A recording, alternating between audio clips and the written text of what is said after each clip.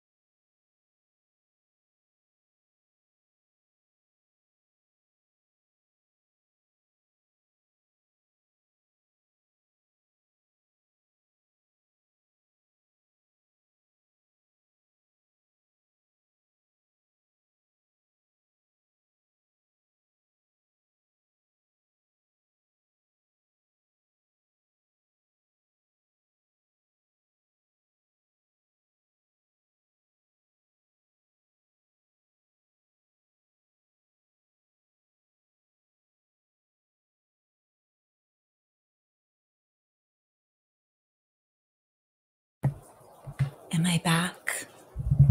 Yes. Hi, Megan Randall. Thanks for joining us. Okay, guys, so the rain's outside, it's cozy, and let's start this. Okay, we're on chapter 22.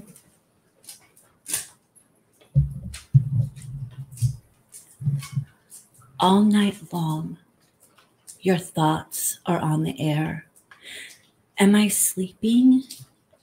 Have I slept at all? This is insomnia. Try to relax a little more with every breath out, but your heart's still racing and your thoughts tornado in your head. Nothing works, not guided meditation. You're in Ireland, not counting sheep.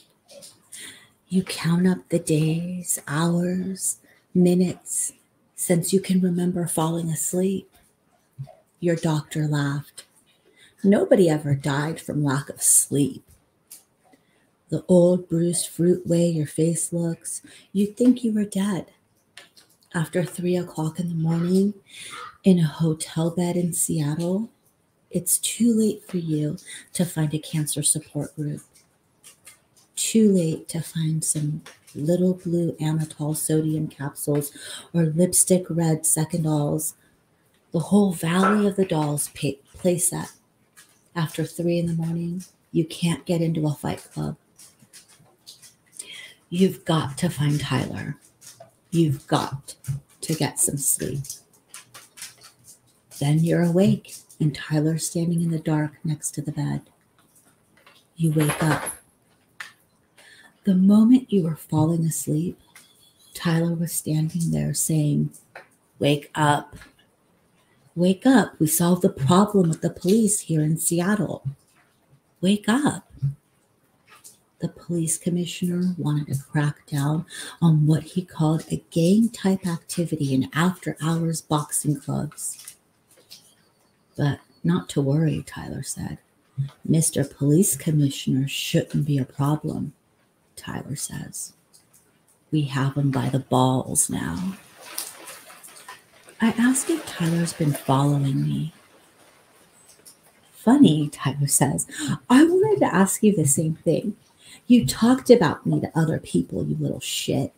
You broke your promise.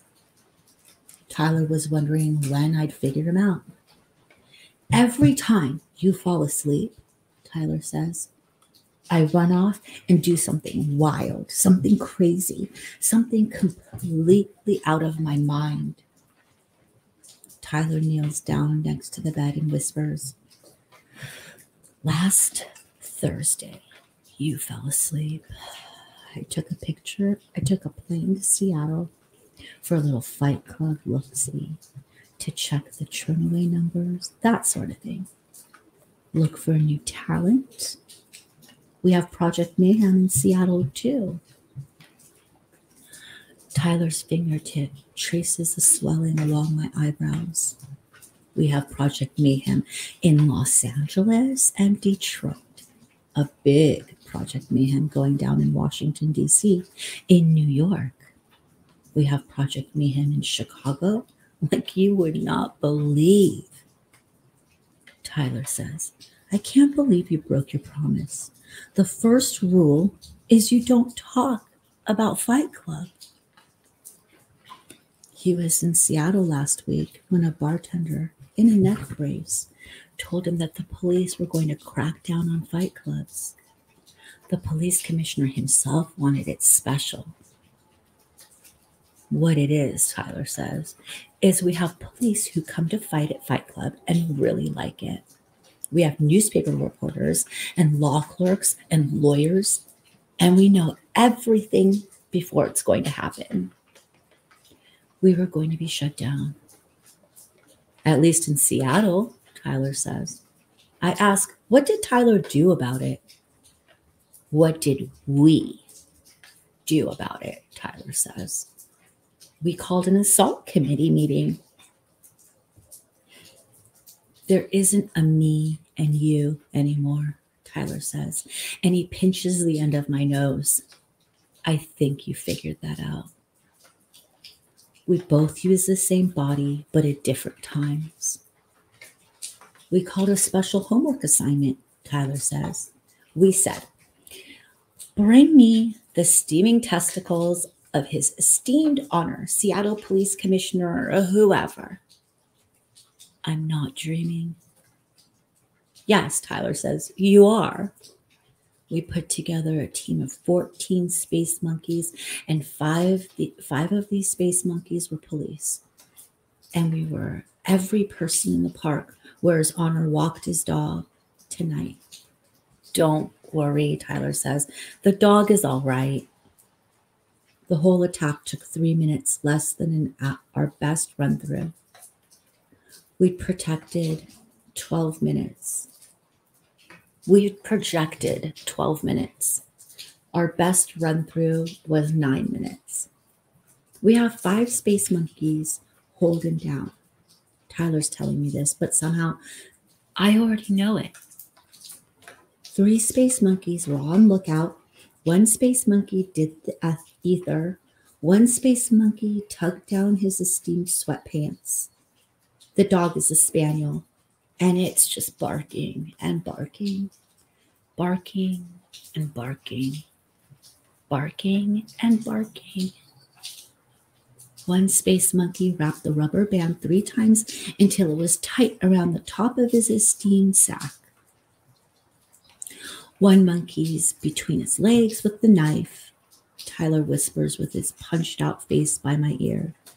And I'm whispering in his most esteemed police commissioner's ear that he better stop the Fight Club crackdown or we'll tell the world that his esteemed honor does not have any balls. Tyler whispers, How far do you think you'll get, Your Honor? the rubber band is cutting off any feeling down there. How far do you think you'll get in politics if the voters know you have no nuts?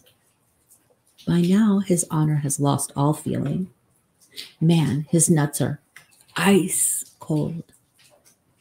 Even if one fight club has to close, we'll send his nuts east and west one goes to the New York Times and one goes to the Los Angeles Times, one to each, sort of a press release style. The space monkey took their ether rag off his mouth, and the commissioner said, Don't. And Tyler said, We have nothing to lose except Fight Club. The commissioner, he had everything. All we were left was the shit and the trash of the world. Tyler nodded to the space monkey with the knife between the commissioner's legs. Tyler asked, Imagine the rest of your life with your bag flapping empty. The commissioner said, No, and don't. Stop, please. Oh, God, help me help. No. Me. God, me. Stop that. And the space monkey slips the knife in and only cuts off the rubber band. Six minutes total, and we were done. Remember this, Tyler said. The people you're trying to step on were everyone you depend on. We're the people who do your laundry and cook your food and serve your dinner. We make your bed. We guard you while you're asleep. We drive the ambulances. We direct your call. We are cooks and taxi drivers, and we know everything about you. We process your insurance claims and credit card charges. We control every part of your life. We are the middle children of history, raised by television, to believe that someday we'll be millionaires and movie stars and rock stars, but we won't. And we're just learning this fact, Tyler said. So don't fuck with us. The space monkey had to press the ether down hard on the commissioner's sobbing and put him all the way out. Another team dressed him and took him and his dog home. After that, the secret was up to him to keep. And no, we didn't expect any more Fight Club crackdown. His esteemed honor went home scared but intact. Every time we do these little homework assignments, Tyler says, these Fight Club men with nothing to lose are a little more invested in Project Mayhem. Tyler, kneeling next to my bed, says, Close your eyes and give me your hand. I close my eyes and Tyler takes my hand. I feel Tyler's lips against the scar of his kiss. I said that if you talked about me behind my back, you'd never see me again, Tyler said. We're not two separate men. Long story short, when you're awake, you have the control and you can call yourself anything you want. But the second you fall asleep, I take over and you become Tyler Durden. But we fought, I say, the night we invented Fight Club. You weren't really fighting me, Tyler says. You said so yourself. You were fighting everything you hate in your life. But I can see you. You're asleep. But you're renting a house. You held a job, two jobs. Tyler says, Order to cancel checks from the bank. I rented the house in your name. I think you'll find the handwriting on the rent check matches the notes you've been typing for me. Tyler's been spending my money. It's no wonder I'm always overdrawn. And the jobs, well, why do you think you're so tired? Geez, it's not insomnia. As soon as you fall asleep, I take over and go to work or fight club or wherever. You're lucky I didn't get a job as a snake handler. I say, but what about Marla? Marla loves you. Marla loves you. Marla doesn't know the difference between you and me. You gave her a fake name the night you met. You never gave her your real name at the support group. You inauthentic shit. Since I saved her life, Marla thinks your name is Tyler Durden. So now that I know about Tyler, will he just disappear? No, Tyler says, still holding my hand. I wouldn't be here in the first place if you didn't want me. I'll still I'll still live my life while you're asleep. But if you fuck with me, if you chain yourself to the bed at night or take big doses of sleeping pills, then we'll be enemies. And I'll get you for it. Oh, this is bullshit. This is a dream. Tyler is a projection. He's a dissociative personality disorder, a psychogenetic fatigue state. Tyler Durden is my hallucination. Fuck that shit, Tyler says. Maybe you're my schizophrenic hallucination. I was here first, Tyler says. Yeah, yeah, yeah. Well, let's just see who's here last. This isn't real. This is a dream. And I'll wake up. Then wake up. And then the telephone's ringing and Tyler's gone. Sun is coming through the curtains. It's my 7 a.m. wake up call. And when I pick up the receiver, the line is dead. Chapter 23. Fast forward, I fly back home to Marla and the Paper Street Soap Company. Everything is still falling apart. At home, I'm too scared to look in the fridge. Picture dozens of little plastic sandwich bags labeled with cities like Las Vegas and Chicago and Milwaukee, where Tyler had to make good his threats to protect chapters of Fight Club. Inside each bag would be a pair of messy tidbits, frozen solid. In one corner of the kitchen, a space monkey squats on the cracked linoleum and studies himself in a hand mirror. I am the all singing, all dancing crap of this world, the space monkey tells the mirror. I am the toxic waste byproduct of God's creation. Another space monkey moves around in the garden, picking things, killing things. With one hand on the freezer door, I take a big breath and try to center my enlightened spiritual entity.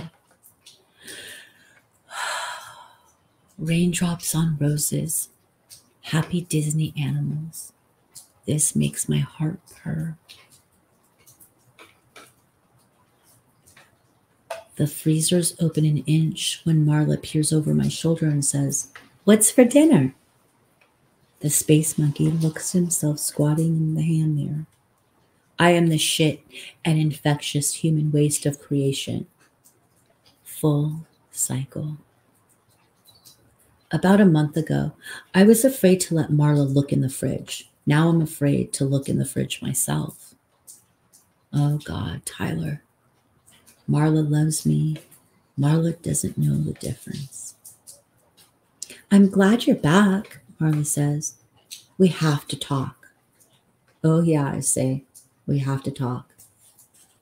I can't bring myself to open the freezer. I'm Joe's shrinking groin. I tell Marla, don't touch anything in this freezer. Don't even open it. If you ever find anything inside it, don't eat them or feed them to a cat or anything. The space monkey with the hand mirror is eyeing us, so I tell Marla we have to leave. We need to be someplace else to have this talk. Down the basement stairs, one space monkey is reading to the other space monkeys. Three ways to make napalm. One, you can mix equal parts of gasoline and frozen orange juice concentrate, the space monkeys in the basement. Two, you can mix equal parts of gasoline and diet cola.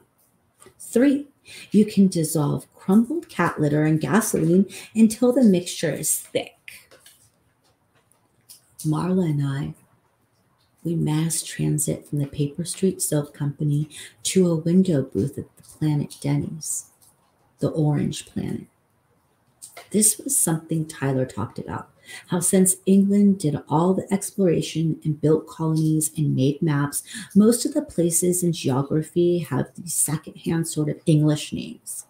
The English got to name everything, or almost everything, like Ireland, New London, Australia, New London, India, New London, Idaho, New York, New York. Fast forward to the future. This way, when deep space exploration ramps up, it will probably be a megatonic corporation that discover all the new planets and map them. The IBM stellar sphere, the Philip Morris galaxy, Planet Denny's. Every planet will take on a corporate identity of whoever rapes it first. Budweiser World. Our waiter has a big goose egg on his forehead and stands ramrod straight, heels together. Sir, our waiter says, Would you like to order now, sir? He says, Anything you order is free of charge, sir. You can imagine you smell urine in everybody's soup. Two coffees, please. Marla asks, Why is he giving us free food? The waiter thinks I'm Tyler Durden, I say. In that case, Marla orders fried clams and f- clam chowder and a fish basket and fried chicken and a baked potato with everything and a chocolate chiffon pie. Through the pass through window into the kitchen, three line cooks, one with stitches along his upper lip, are watching Marla and me and whispering with their three bruised heads together. I tell the waiter, give us clean food, please. Please, don't be doing any trash to the stuff we order. In that case, sir, our waiter says, may I advise against the lady here eating the clam chowder? Thank you. No clam chowder. Marla looks at me and I tell her, trust me. The waiter turns on his heel and marches our order back to the kitchen. Through the kitchen, past through window, the three line cooks give me the thumbs up. Marla says, You get some nice perks being Tyler Durden. From now on, I tell Marla she has to follow me everywhere at night and write down everywhere I go. Who do I see? Do I castrate anyone important? That sort of detail. I take out my wallet and show Marla my driver's license with my real name, not Tyler Durden. But everyone knows you're Tyler Durden, Marla says. Everyone but me. Nobody at work calls me Tyler Durden. My boss calls me by my real name. My parents know who I really am. So why Marla asks. Are you Tyler Durden to some people, but not to everybody? The first time I met Tyler, I was asleep. I was tired and crazy and rushed. And every time I boarded a plane, I wanted the plane to crash. I envied people dying of cancer. I hated my life. I was tired and bored with my job and my furniture, and I couldn't see any way to change things, only end them. I felt trapped. I was too complete. I was too perfect. I wanted a way out of my tiny life, single serving butter and cramped airline seat role in the world, Swedish furniture, clever art, I took a vacation. I fell asleep on the beach, and when I woke up, there was Tyler Durden, naked and sweating, gritty with sand, his hair wet and stringy, hanging in his face. Tyler was pulling driftwood logs out of the surf and dragging them up the beach.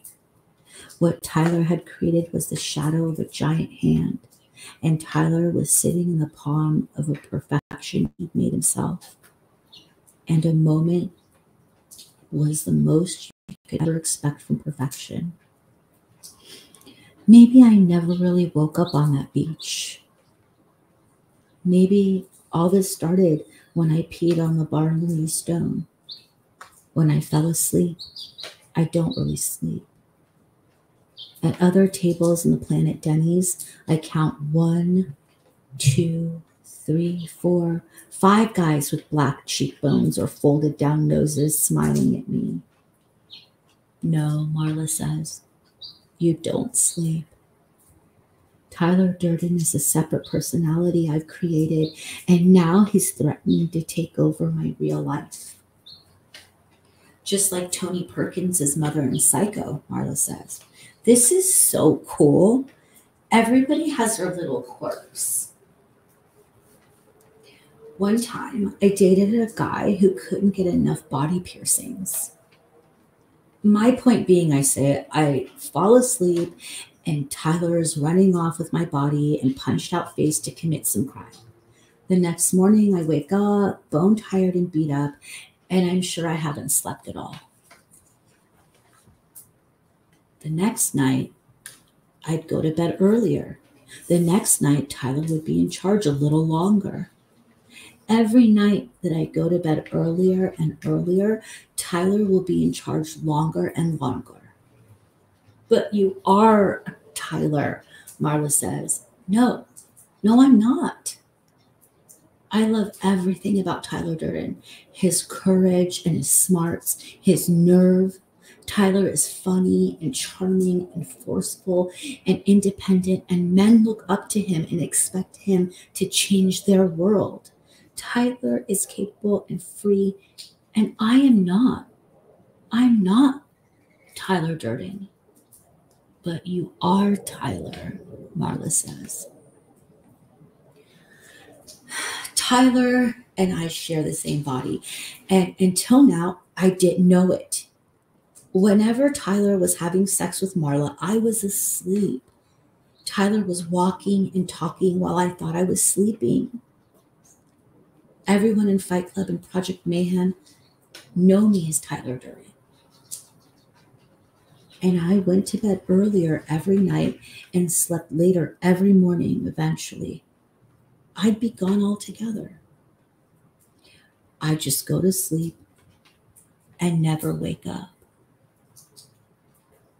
Marla says, just like the animals at the animal control place.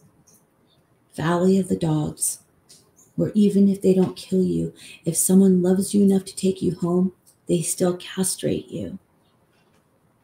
I would never wake up and Tyler would take over. The waiter brings the coffee and clicks his heels and leaves. I smell my coffee.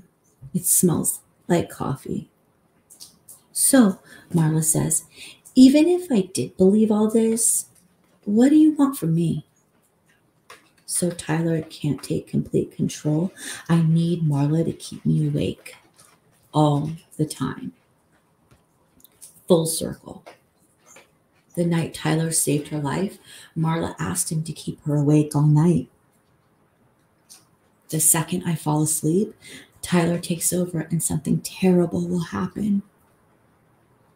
And if I do fall asleep, Marla has to keep track of Tyler, where he goes, what he does. So maybe during the day, I can rush around and undo the damage. Chapter 24 His name is Robert Paulson, and he is 48 years old.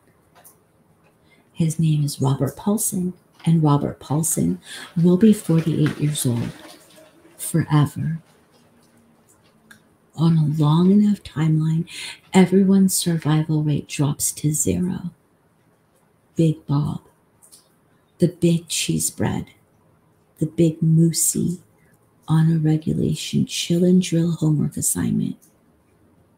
This was how Tyler got into my condominium to blow it up with homemade dynamite. You take a spray canister of refrigerant, R12, if you can still get it. What with the ozone hole and everything, or R13, R134A, and you spray it into the lock cylinder until the works are frozen. On a chill and drill assignment, you spray the lock on the pay telephone or parking meter or a newspaper box. Then you use the hammer and a cold chisel to shatter the frozen lock cylinder. On a regulation drill and fill homework assignment, you drill the phone or the automatic bank teller machine, then you screw a lube fitting into the hole and use a grease gun to pump your target full of axle grease or vanilla pudding or plastic cement. It's not that Project Mayhem needed to steal a handful of change. The Paper Street Soap Company was backlogged on filling orders. God help us when the holidays came around. Homework is to build your nerve. You need some cunning. Build your investment in Project Mayhem. Instead of a cold chisel, you can use an electric drill on the frozen lock cylinder. This works just as well, and it's more quiet.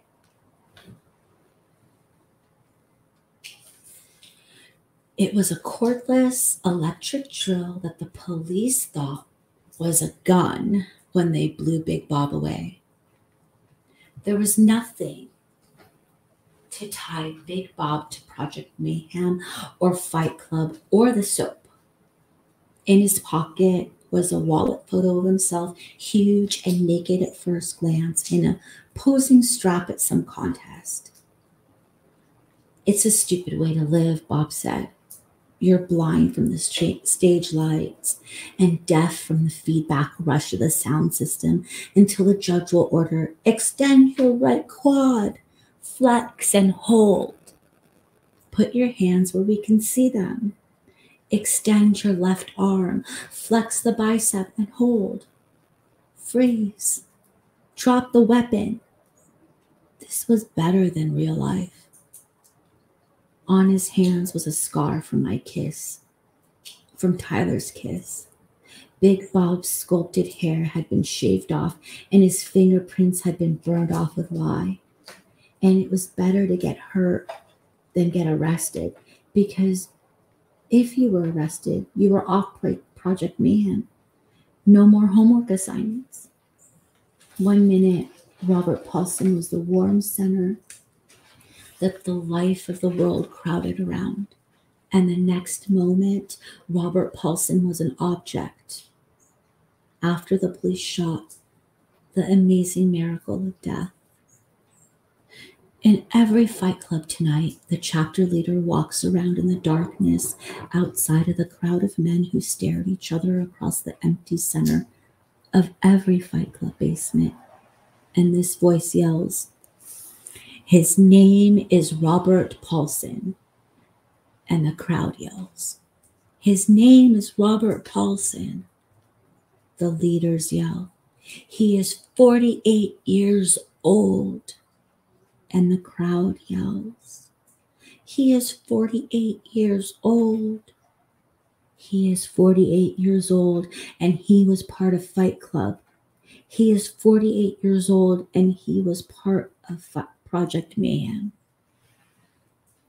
Only in death will we have our own names, since only in death are we no longer part of the effort. In death, we become heroes. And the crowd yells, Robert Paulson. And the crowd yells, Robert Paulson. And the crowd yells, Robert Paulson. I go to Fight Club tonight to shut it down. I stand in one light, the center of the room, and the club cheers. To everyone here, I'm Tyler Durden. Smart, forceful, gutsy. I hold up my hands for silence and I suggest, why don't we all just call it a night?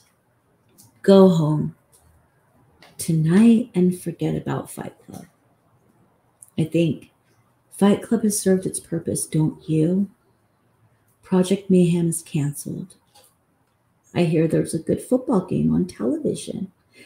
100 men just stare at me. A man is dead, I say.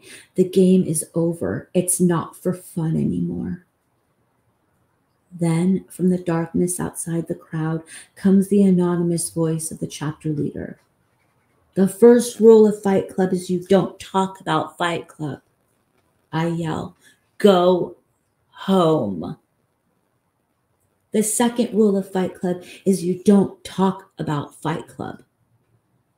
Fight Club is canceled. Project Mayhem is canceled. The third rule is only two guys to a fight.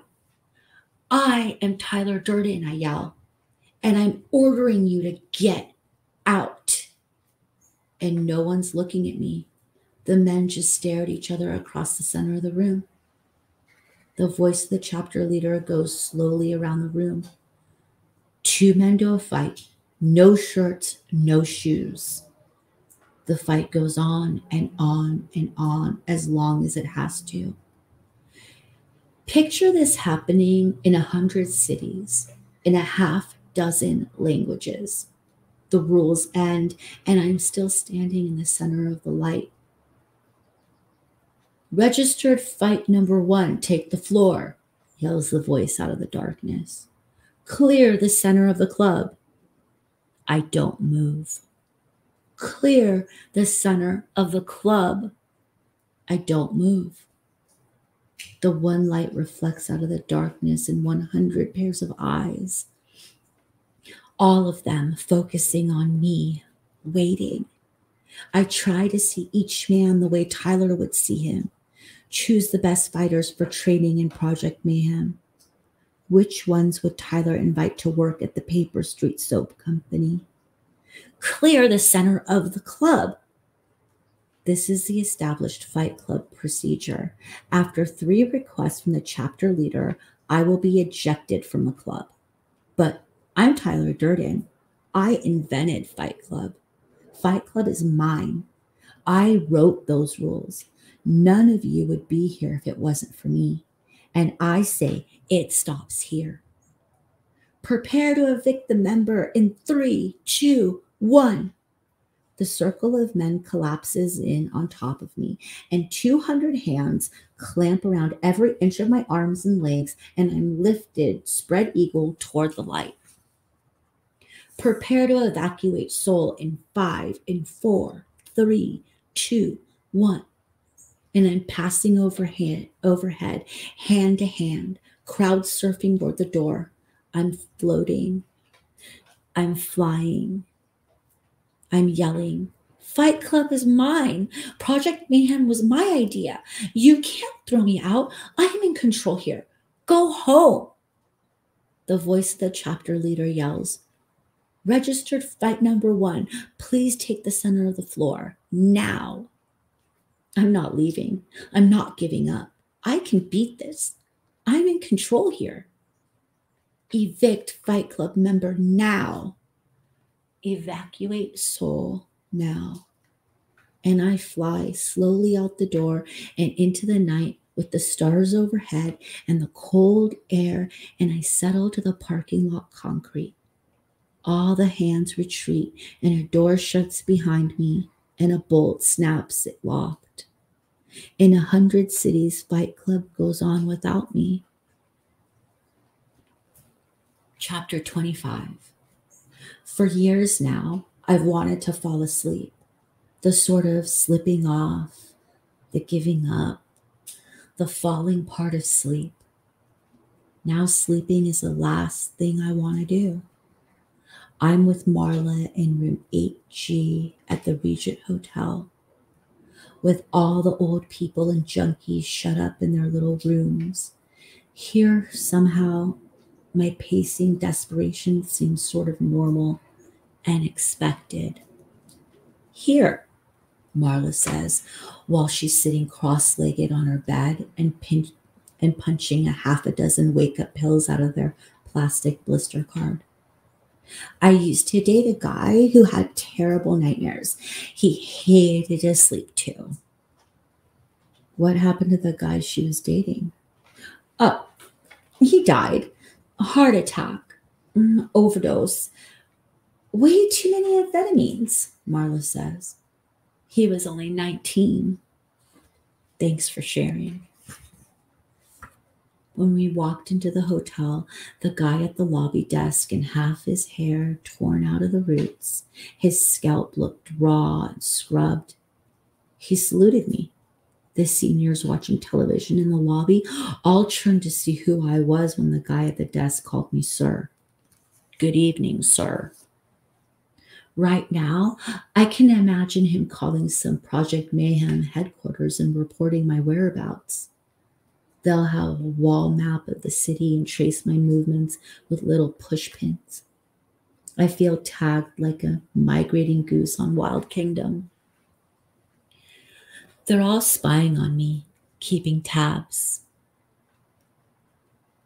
You can take all six of these and not get sick to your stomach, Marla says.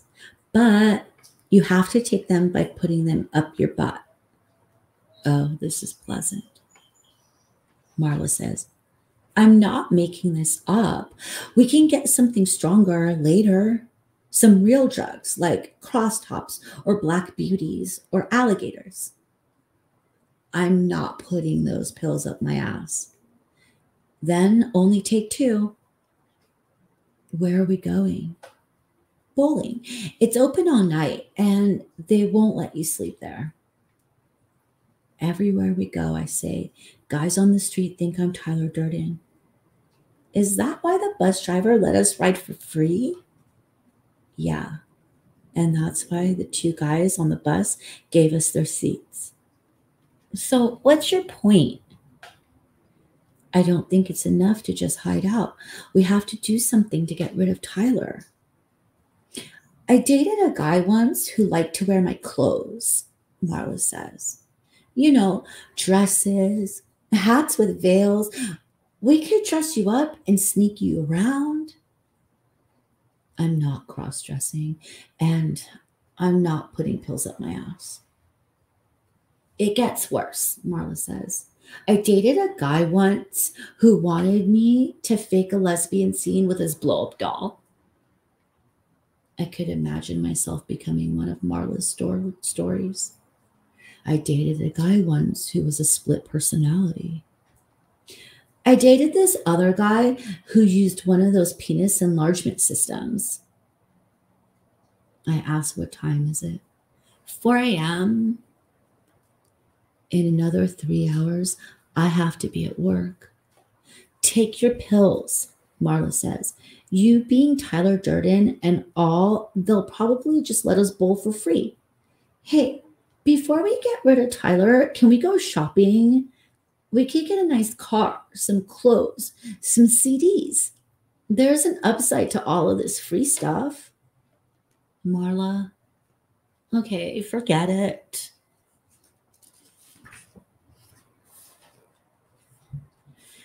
Chapter 26 That old saying about how you always kill the thing you love, well, it works both ways.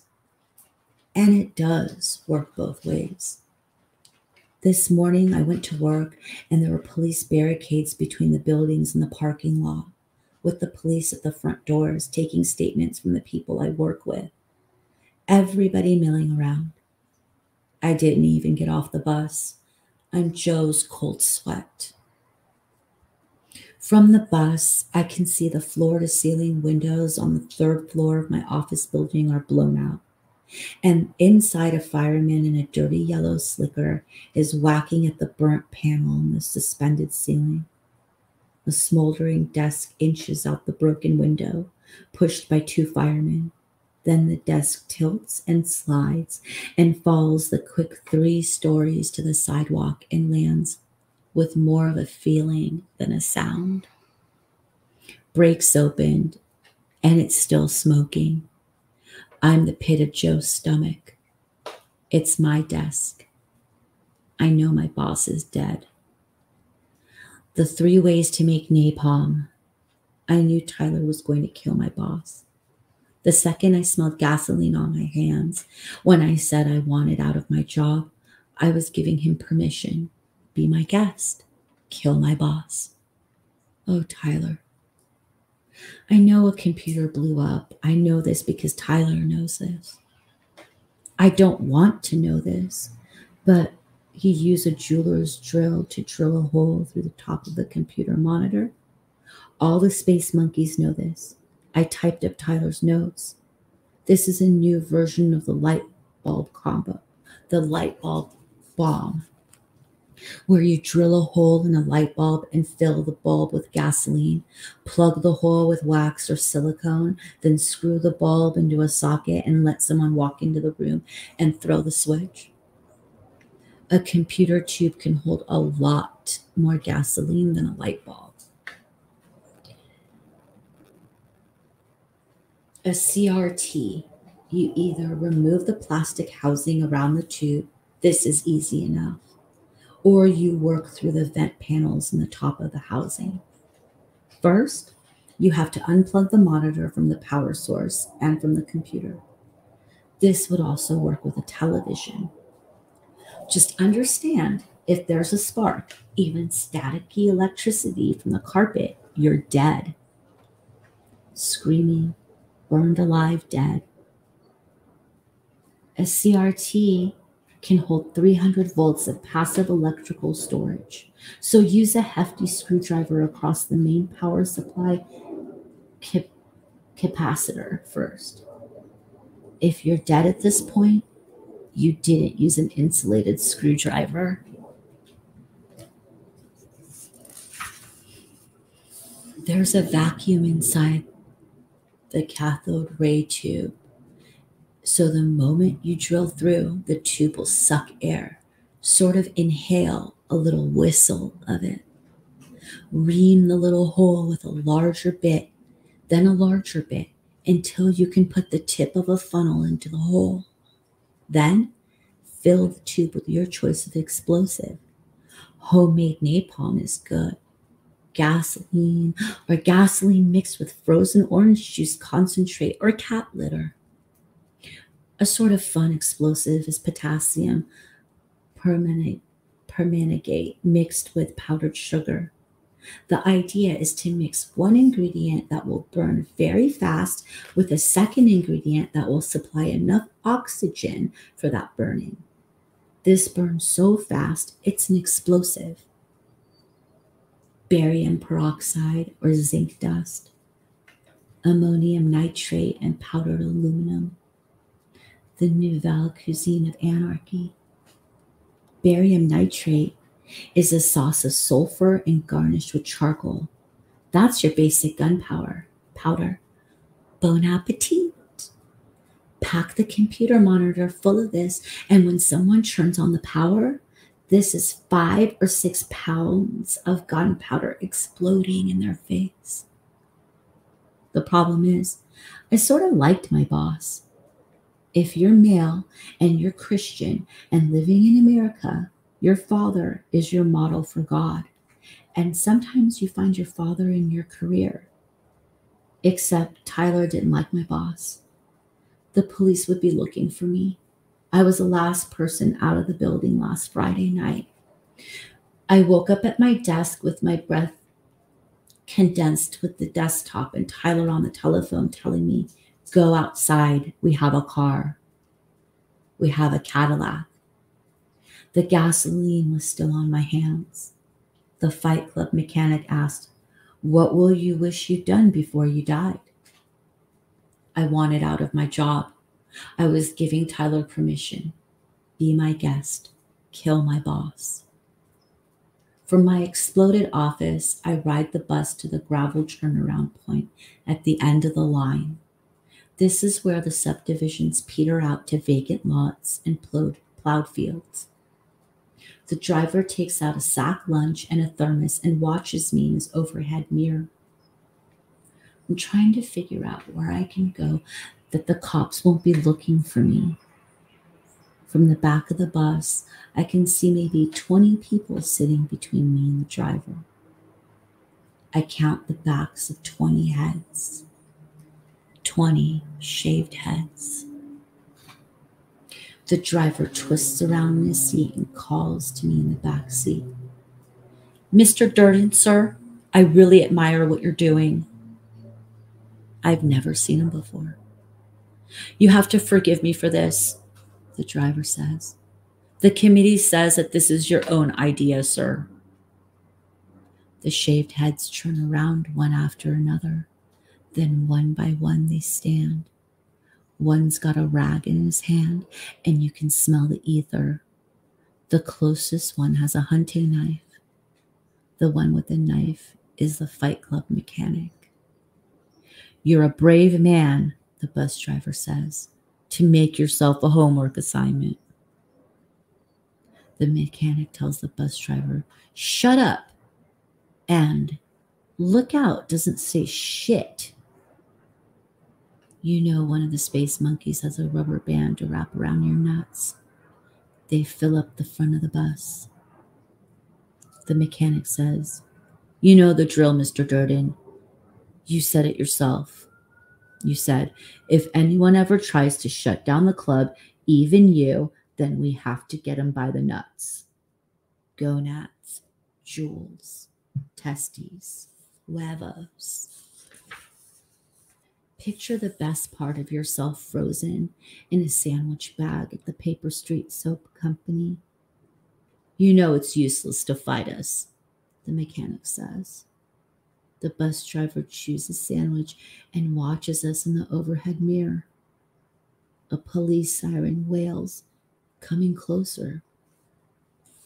A tractor rattles across a field in the distance. Birds, a window in the back of the bus is half open. Clouds. Weeds grow at the edge of the gravel turnaround. Bees or flies buzz around the weeds. We're just after a little collateral, the Fight Club mechanic says. This isn't just a threat this time, Mr. Durden. This time we have to cut them. The bus driver says, It's cops. The siren arrives somewhere at the front of the bus. So, what do I have to fight back with?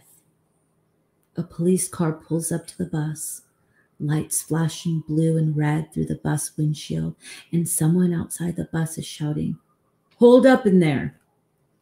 And I'm saved. Sort of. I can tell the cops about Tyler. I can tell them everything about Fight Club, and maybe I'll go to jail. And then Project Mayhem will be their problem to solve, and I won't be staring down a knife. The cops come up the bus steps, the first cop saying, You cut him yet? The second cop says, Do it quick. There's a warrant out for his arrest.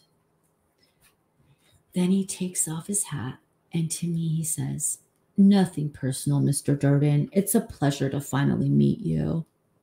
I say, You're all making a big mistake. The mechanic says, You told us you'd probably say that. I'm not Tyler Durden. You told us you'd say that too. I'm changing the rules. You can still have Fight Club, but we're not going to castrate anyone. Anyone. Yeah, yeah, yeah, the mechanic says. He's halfway down the aisle holding the knife out in front of him. You said you would definitely save that. Okay. So I'm Tyler Durden. I am. I'm Tyler Durden. And I dictate the rules. And I say, put the knife down. The mechanic calls back over his shoulder. What's our best time to date for cut and run? Somebody yells. Four minutes. The mechanic yells. Is somebody timing this? Both cops have climbed up into the front of the bus now, and one looks at his watch and says, Just a sec. Wait for the second hand to get up to the 12. The cop says, Nine, eight, seven. I dive for the open window. My stomach hits the thin metal windowsill, and behind me, the Fight Club mechanic yells, Mr. Durden, you're going to fuck up the time. Hanging half out the window, I claw at the black rubber sidewall near the tire. I grab the wheel well trim and pull. Someone grabs my feet and pulls. I'm yelling at the little tractor in the distance, Hey! And hey! My face swelling hot and full of blood. I'm hanging upside down. I pull myself out a little. Hands around my ankles pull me back in. My tie flops in my face. My belt buckle catches on the windowsill. The bees and the flies and weeds are inches from in front of my face, and I'm yelling, Hey! Hands are hooked in the back of my pants, tugging me in, hugging my pants and belt down around and over my ass. Somebody inside the bus yells, One minute! My shoe slips off the, my feet. My belt buckle slips inside the windowsill. The hands bring my legs together. The windowsill cuts hot from the sun into my stomach. My white shirt billows and drops down around my head and shoulders. My hand still gripping the wheel well trim, me still yelling, Hey! My legs are stretched out straight and together behind me. My pants slip down my legs and are gone. The sun shines warm on my ass. Blood pounding in my head, my eyes bugging from the pressure. All I can see is the white shirt hanging around my face. The tractor rattles somewhere. The bees buzz somewhere. Everything is a million miles away. Somewhere a million miles behind me, someone is yelling, Two minutes and a hand slips between my legs and gropes for me. Don't hurt him, someone says. The hands around my ankles are a million miles away. Picture them at the end of a long, long road, guided meditation. Don't picture the windowsill as a dull, hot knife slitting open your belly don't picture a team of men tug of warring your legs apart. A million miles away, a bazillion miles away, a rough, warm hand wraps around the base of you and pulls you back, and something is holding you tight, tighter, tighter. A rubber band. You're in Ireland. You're in Fight Club. You're at work. You're anywhere but here. Three minutes. Somebody far, far away yells, You know the speech, Mr. Durden. Don't fuck with Fight Club. The warm hand is cupped under you, the cold tip of the knife, an arm wraps around your chest. Therapeutic physical contact, hug time, and the ether presses your nose and mouth hard, then nothing less than nothing, oblivion.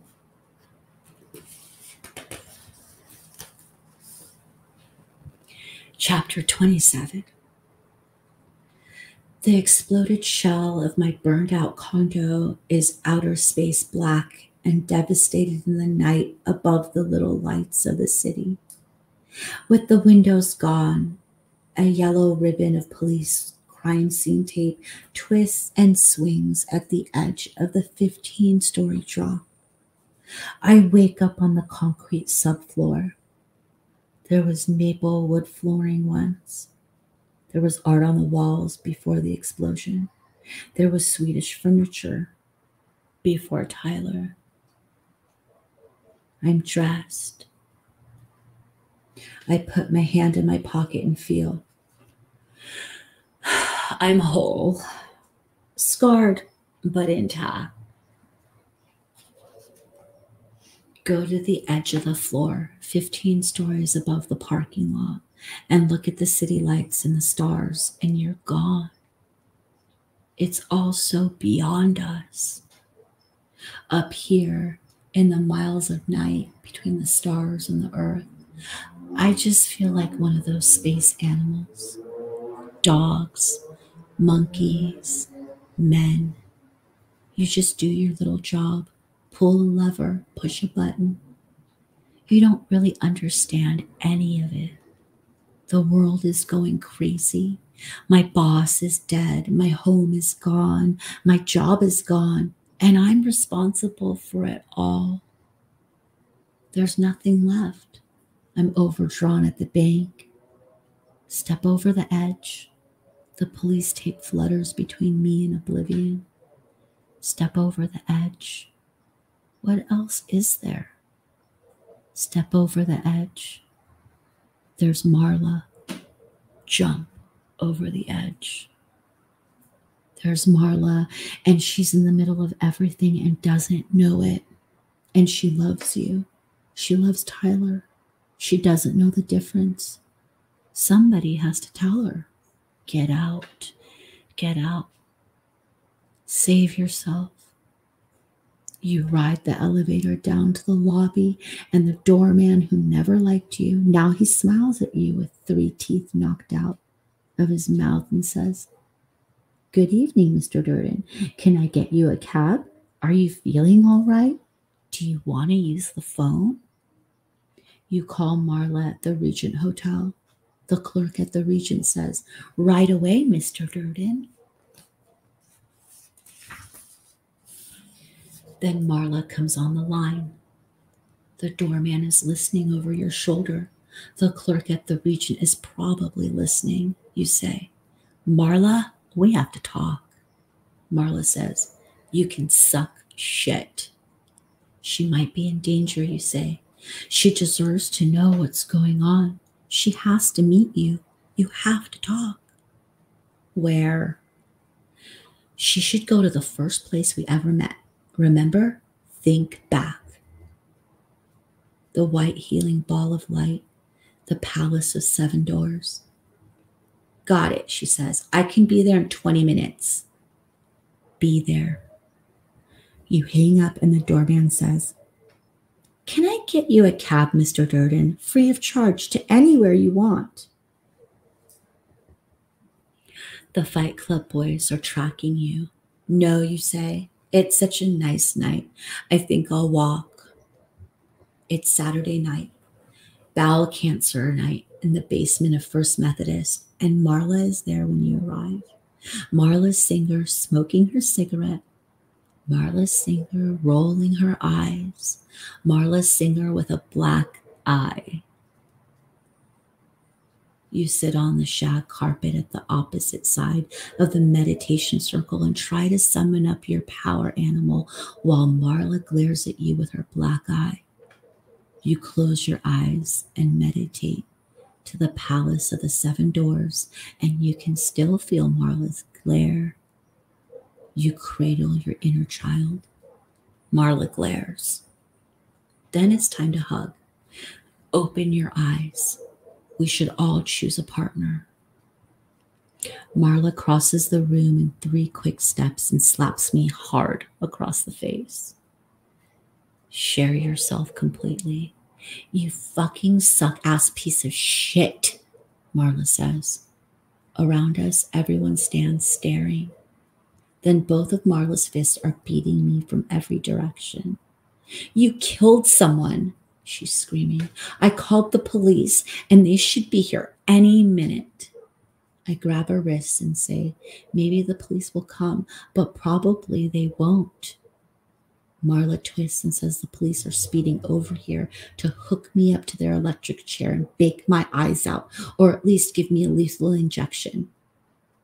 This will feel just like a bee sting. An overdose shot of sodium phenobarbital, and then the big sleep, Valley of Dogs style.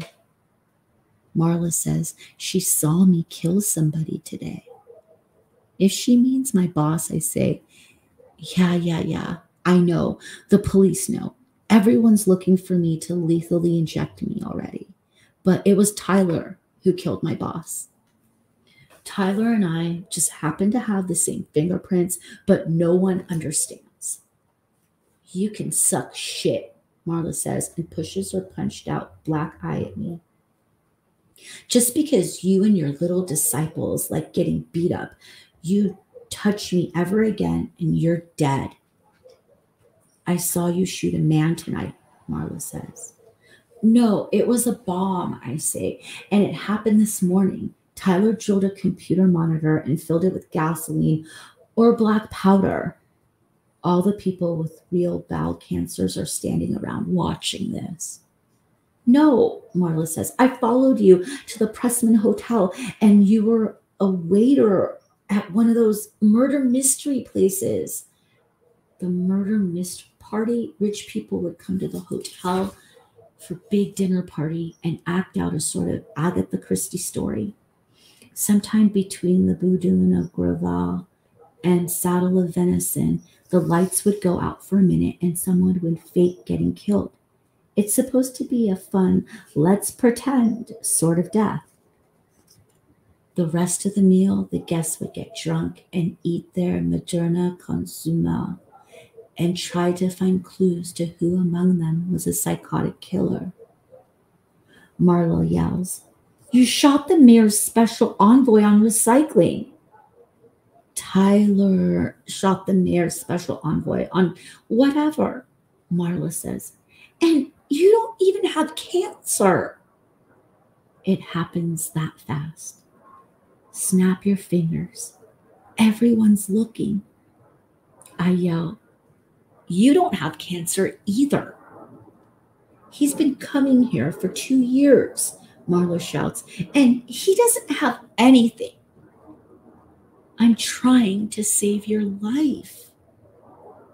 What? Why does my life need saving?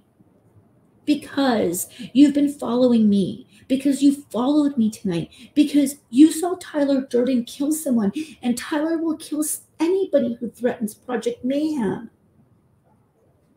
Everyone in the room looks snapped out of their little tragedies, their little cancer thing. Even the people on pain meds look wide eyed and alert. I say to the crowd, I'm sorry, I never meant any harm. We should go. We should talk about this outside. Everybody goes, No, stay. What else? I didn't kill anybody. I say, I'm not Tyler Durden. He's the other side of my split personality. I say, Has anybody here seen the movie Sybil? Marla says, So who's going to kill me? Tyler. You? Tyler, I say, but I can't, but I can take care of Tyler. You just have to watch out for the members of Project Mayhem. Tyler might have given them orders to follow you or kidnap you or something. Why should I believe any of this? It happens that fast. I say, because I think I like you. Marla says, not love? This is a cheesy enough moment. I say, don't push it. Everybody watching smiles. I have to go. I have to get out of here. I say, watch out for the guys with shaved heads or guys who look beat up, black eyes, missing teeth, that sort of thing. And Marla says, So where are you going? I have to take care of Tyler Durden. I'm going to shut my door really quick, guys. Give me a second.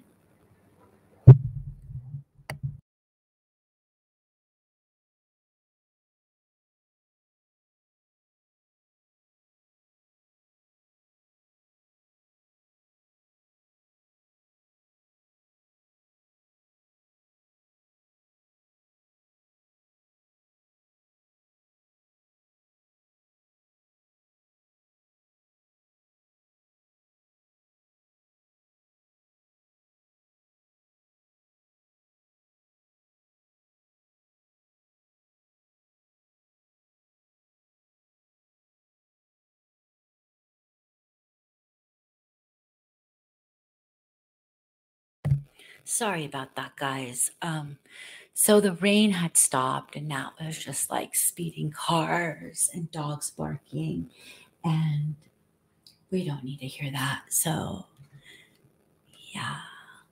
Thank you, guys. Okay, so here we go. We are what an hour and 10 minutes in. I think you guys we're gonna finish before the two hour mark. I didn't think that would happen. Okay, so chapter 28. His name was Patrick Madden, and he was the mayor's special envoy on recycling. His name was Patrick Madden, and he was an enemy of Project Mayhem. I walk out into the night around First Methodist, and it's all coming back to me. All the things that Tyler knows are coming back to me. Patrick Madden was compiling a list of bars where fight clubs met. All of a sudden, I know how to run a movie projector. I know how to break locks and how Tyler had rented a house on Paper Street just before he revealed himself to me at the beach. I know why Tyler had occurred. Tyler loved Marla. From the first night I met her, Tyler or some part of me had needed a way to be with Marla. Not that any of this matters, not now, but all of the details are coming back to me as I walk through the night to the closest fight club. There's a fight club in the basement of the Armory Bar on Saturday nights. You can probably find it on the list Patrick Madden was compiling. Poor, dead Patrick Madden. Tonight, I go to the Armory Bar and the crowds part zipper style when I walk in.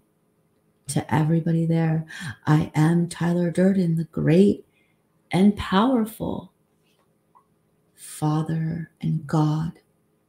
All around me, I hear, Good evening, sir.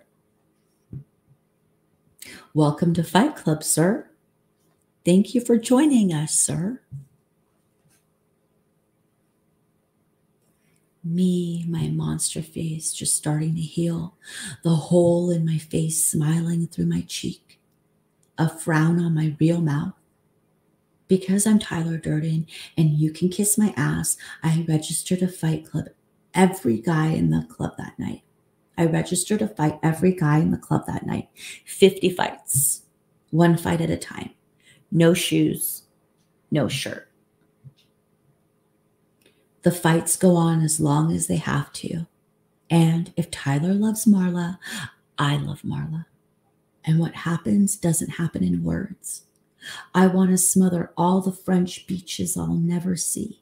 Imagine stalking elk through the damp canyon forest around Rockefeller Center. The first fight I get the guy gets me in a full Nelson and rams my face, rams my cheek, rams the hole in my cheek onto the concrete floor until my teeth inside snap off and plant their jagged roots into my tongue. Now I can remember Patrick Maiden, Madden, dead on the floor, his little figurine of a wife, just a little girl with a shit on. His wife giggled and tried to pour champagne between her dead husband's lips. The wife said, The fake blood was too, too red. Mrs. Patrick Madden put two fingers in the blood pool next to her husband and then put the fingers in her mouth.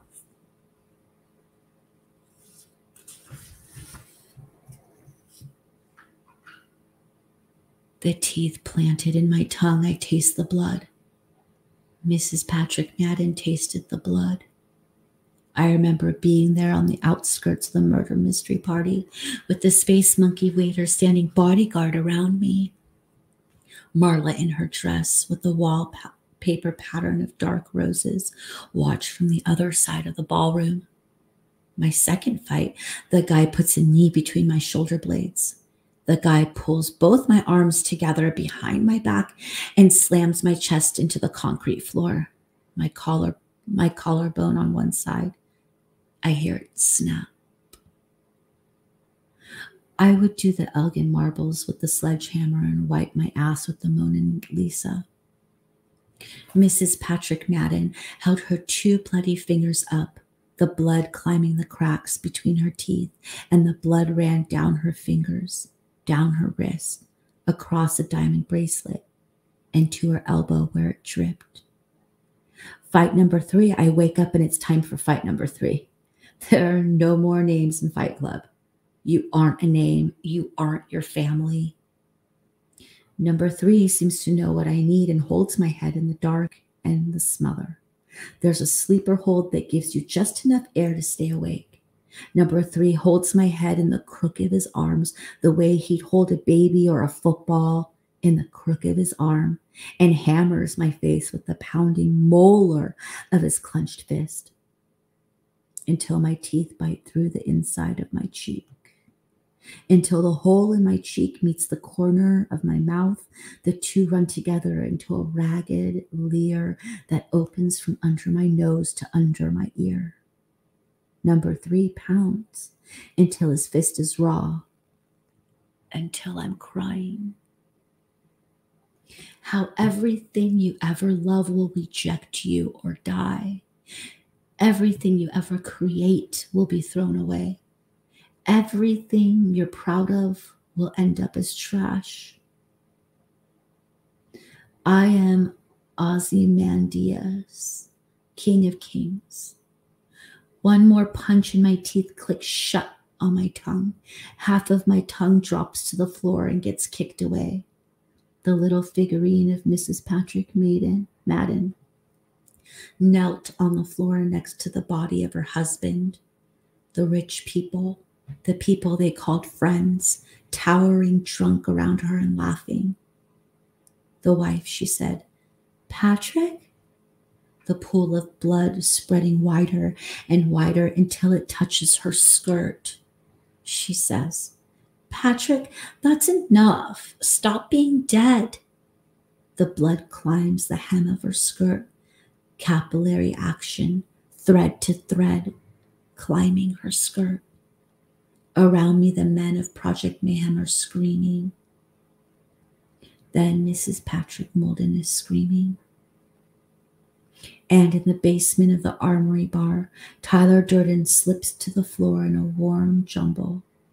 Tyler Durden the Great, who was perfect for one moment and who said that a moment is the most you could ever expect from perfection. And the fight goes on and on because I want to be dead because only in death do we have names. Only in death are we no longer part of Project Mayhem. Chapter 29 Tyler standing there, perfectly handsome and an angel in his everything blonde way. My will to live amazes me. Me, I'm a bloody tissue sample dried on a bare mattress in my room at the Paper Street Soap Company. Everything in my room is gone. My mirror with a picture of my foot from when I had cancer for 10 minutes. Worse than cancer. The mirror is gone. The closet door is open, and my six white shirts, black pants, underwear, socks, and shoes are gone. Tyler says, Get up under and behind and inside everything I took for granted, something horrible has been growing. Everything has fallen apart. The space monkeys are cleared out. Everything is relocated. The liposuction fat, the bunk beds, the money, especially the money. Only the garden is left behind and the rented house. Tyler says, the last thing we have to do in your martyrdom thing, your big death thing. Not like death as a sad, downer thing. This was going to be death as a cheery, empowering thing. Oh, Tyler, I hurt. Just kill me here. Get up. Kill me already. Kill me. Kill me. Kill me. It has to be big, Tyler says. Picture this you on top of the world's tallest building. The whole building taken over by Project Mayhem. Smoke rolling out the windows, desks flying into the crowds on the street. A real opera of a death. That's what you're going to get. I say, No, you've used me enough. If you don't cooperate, we'll go after Marla. I say, Lead the way. Now get the fuck out of bed, Tyler said, and get your ass into the fucking car. So Tyler and I are up on top of Parker Morris building with the gun stuck in my mouth. We're down to our last 10 minutes. The Parker Morris building won't be here in 10 minutes. I know this because Tyler knows this. The barrel of the gun pressed against the back of my throat. Tyler says, We won't really die. I tongue the gun barrel into my surviving cheek and say, Tyler, you're thinking of vampires. We're down to our last eight minutes. The gun is just in case the police helicopters get here sooner. To God, this looks like one man alone holding a gun in his own mouth but it's Tyler holding the gun, and it's my life. You take a 98% concentration of fuming nitric acid and add the acid to three times that amount of sulfuric acid. You have nitroglycerin. Seven minutes. Mix the nitro with sawdust, and you have a nice plastic explosive. A lot of the space monkeys mix their nitro with cotton and add Epsom salt as a sulfate. This works too. Some monkeys, they use paraffin mixed with nitro. Paraffin has never, ever worked for me. Four minutes. Tyler and me at the edge of the roof, the gun in my mouth. I'm wondering how clean the gun is. Three minutes. Then somebody yells, Wait! and it's Marla coming toward us across the roof. Marla's coming toward me, just me because Tyler's gone. Poof! Tyler's my hallucination, not hers.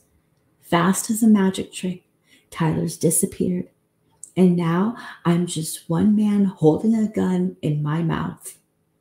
We followed you, Marla yells. All the people from the support group. You don't have to do this. Put the gun down behind Marla, all the bowel cancers, the brain parasites, the melanoma people, the tuberculosis people are walking, limping, wheelchairing toward me. They're saying, Wait. Their voices come to me on a cold wind, saying, Stop. And we can help you. Let us help you. Across the sky comes the whoa, whoa, whoa of police helicopters. I yell, Go, get out of here. This building is going to explode. Marla yells, We know. This is like a total epiphany moment for me. I'm not killing myself. I yell, I'm killing Tyler. On Joe's hard drive, I remember everything. It's not love or anything, Marla shouts, but I think I like you too. One minute. Marla likes Tyler. No, I like you, Marla shouts. I know the difference. And nothing, nothing explodes. The barrel of the gun tucked in my surviving cheek, I say, Tyler, you mixed the nitro with paraffin, didn't you? Paraffin never works. I have to do this. The police helicopters and I pull the trigger. Chapter 30. In my father's house are many mansions. Of course, when I pulled the trigger, I died. Liar. And Tyler died. With the police helicopters thundering toward us, and Marla and all the support group people who couldn't save themselves, with all of them trying to save me, I had to pull the trigger. This was better than real life. And Your one perfect moment won't last forever. Everything in heaven is white on white, faker. Everything in heaven is quiet, rubber soled shoes. I can sleep in heaven. People write to me in heaven and tell me I'm remembered, that I'm their hero. I'll get better. The angels here are the Old Testament kind legions and lieutenants, a heavenly host who works in shifts, days, swing, graveyard. They bring you your meals on a tray with a paper cup of meds, the Valley of the Dolls playset. I've met God across this long walnut desk with his diplomas hanging on the wall behind him. And God asks me, why? Why did I cause so much pain?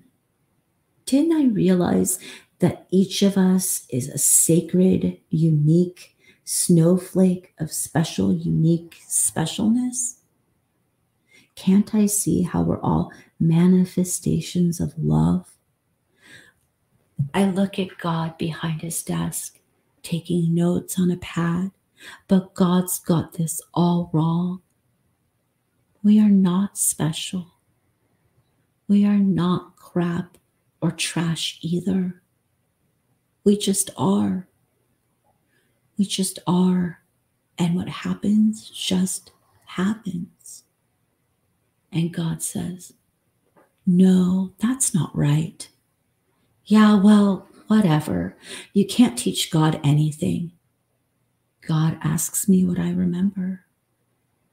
I remember everything the bullet out of Tyler's gun.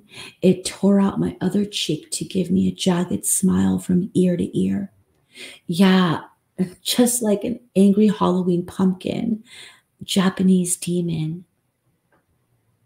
Marla's still on earth, and she writes to me. Someday, she says, they'll bring me back.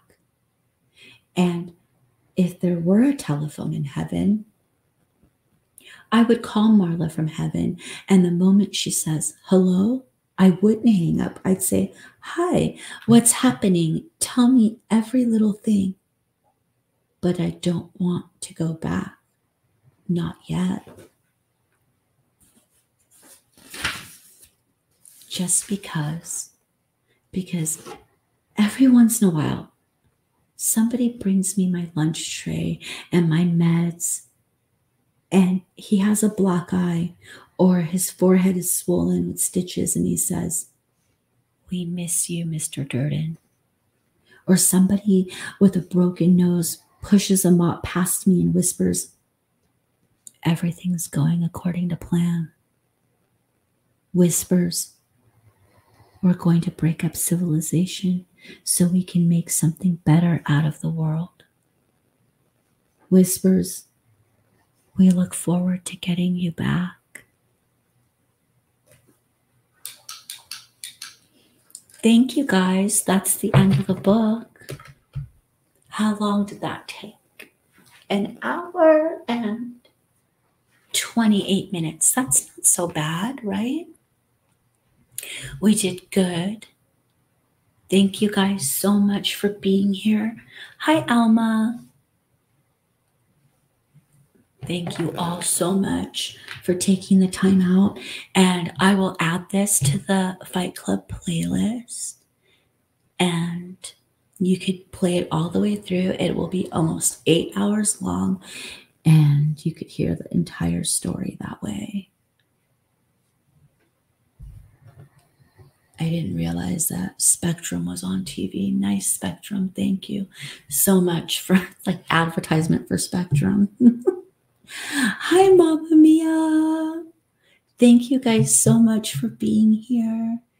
And of course, Sav Girl. And I know Mesra was here. I hope you guys had an amazing holiday and you guys have great plans for New Year's. The rain just stopped. And I will see you guys soon Thank you so much again. Have a great night. Love you all.